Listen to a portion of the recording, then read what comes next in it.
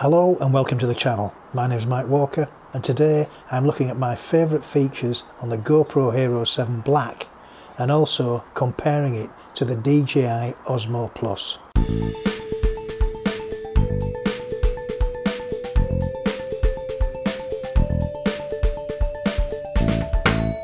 The GoPro Hero 7 Black is a rock solid, durable camera designed to be used in a variety of situations including action and vlogging.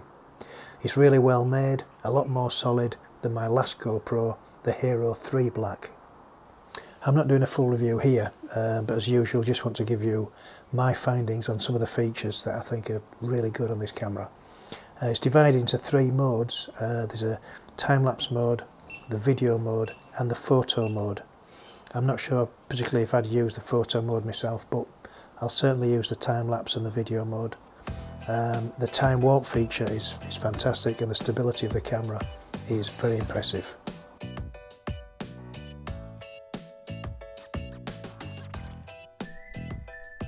So let's start with the regular video mode. The audio is a lot better than previous GoPros the last one I had was a GoPro 3 and the, the audio on that was terrible, certainly unusable. The only thing you'd use that for is just syncing up with your main camera. Uh, but this uh, Hero 7 is very very good and uh, probably could get away with it in certain certain circumstances as long as you weren't too far away from the camera when you were doing whatever you were doing but uh, if you were vlogging and you caught something uh, unexpectedly you didn't have time to get out your zoom or whatever um, you could probably use this and get away with it. It sounds okay. Here's a sample of the audio straight into the camera. If you're vlogging with it and close, it's not too bad. But as soon as you get away and get a bit further away from the camera, here's a comparison with the zoom port of the recorder. It doesn't matter how far away from the camera I get, it will always sound good, and that's always going to be the best way to do it. What I'm really interested in is seeing how it looks up against the DJI Osmo Plus. Um, I had problems with the Osmo Plus and I sent it back. Uh, it wouldn't focus and uh, I was getting a black screen on the app and it's sometimes not connected to the app at all. Um, so I sent it back and I thought maybe the Hero 7 might make a decent replacement for it. So here's a comparison of the stability of the Hero 7 up against the Osmo.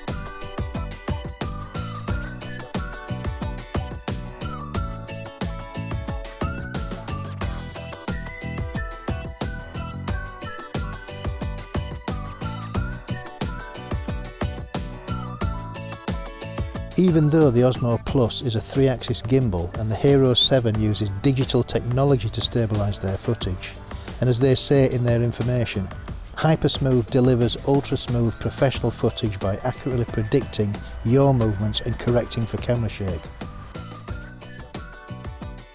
I think the results look pretty close. I use the uh, linear field of view mode whenever I can because I think it looks a little bit less like GoPro footage uh, if that's what you want. Uh, the linear field of view gives you more straight lines and it removes the barrel distortion you get in wide and super wide fields of view. It's not available in 4K but um, all these sequences were shot in 2.7K and at 4x3 aspect ratio and then I just reframed in the edit. Okay, that's it. Thanks for staying with us. Hope you've enjoyed it. Hope you've learned something. Uh, please subscribe, hit the notification bell, give me a thumbs up and all that stuff. And I'll see you in the next one.